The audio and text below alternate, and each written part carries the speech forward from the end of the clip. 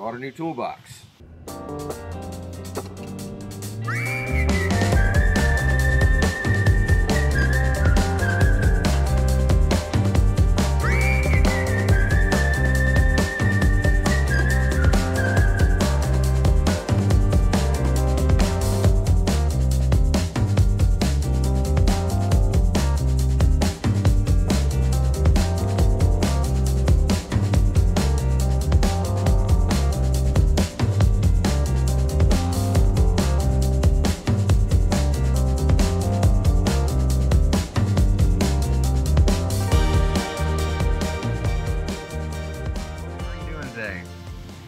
Today we're going to talk truck toolboxes.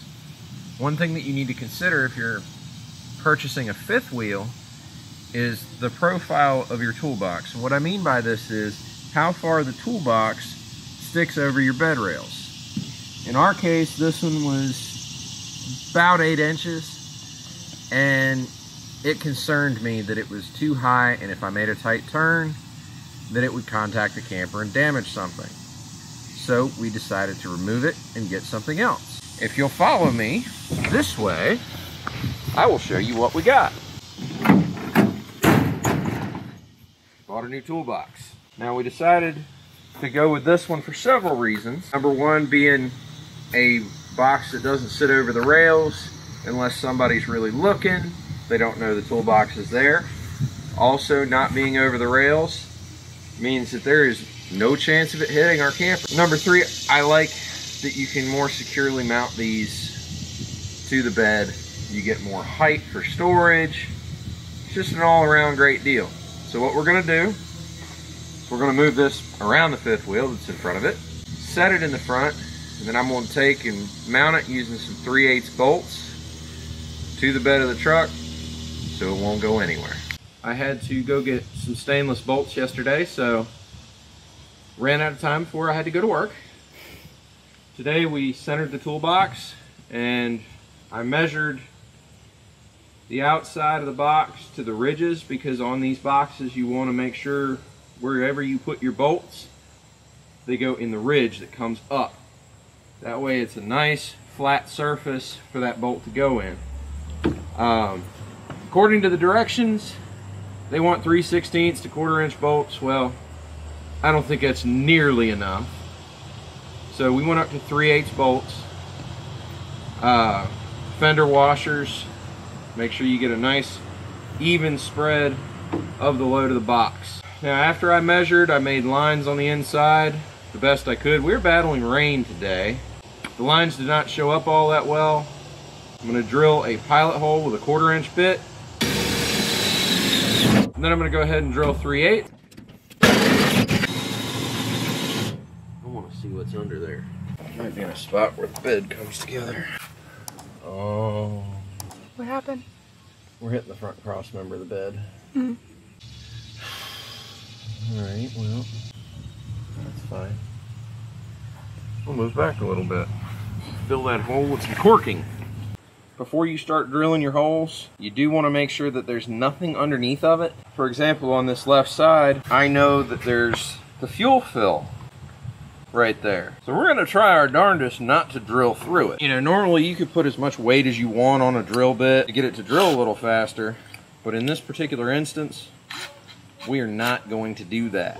What I like to do is put the bolts in after you drill the hole.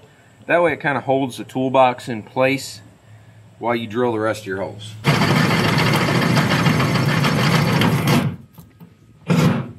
Also, you are definitely Huh? You were definitely good there. Uh, it was the other one that you had to be worried about. Oh, because that was right above the fuel lines. Okay. That one, you didn't hit them. I just checked. Um, that one, you were completely free and clear.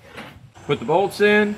Now, folks, what I did is I got stainless bolts. And why I got stainless bolts is rust. No, this is not a marine environment. It can still rust, and if you ever have to pull this toolbox out for some reason, you want to be able to get the bolts and nuts loose. A lot of times with regular bolts, that isn't going to happen. One thing you need to do is you want to seal this up against the weather. So I had some caulk laying around Any type of silicone works. This happens to be white, but I'm cheap and I'm not going to buy a tube of caulk, just clear caulk just to seal this up. So we're going to use white.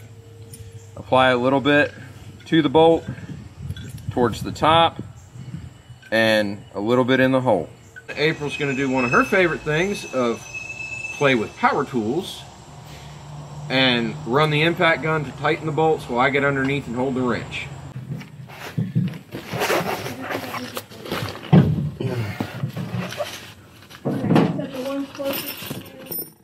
The cab first.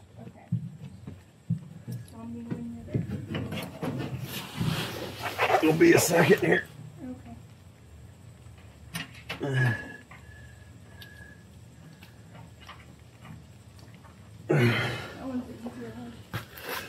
Yeah.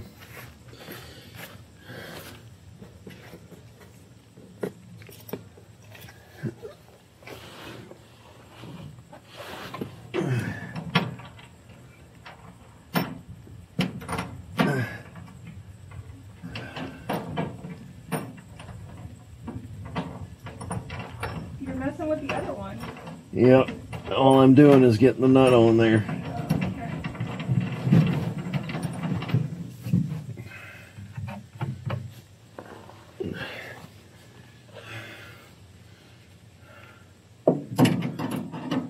All right, baby, whenever you're ready, hit it.